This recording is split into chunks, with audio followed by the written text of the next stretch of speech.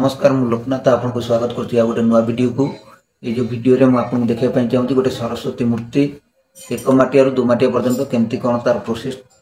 এই ভিডিওটি সম্পূর্ণ ওয়াচ করতু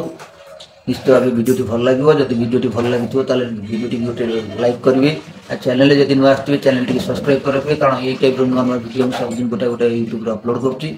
তাহলে আসন্তু কোণ কেমতি কামর প্রোসেসটা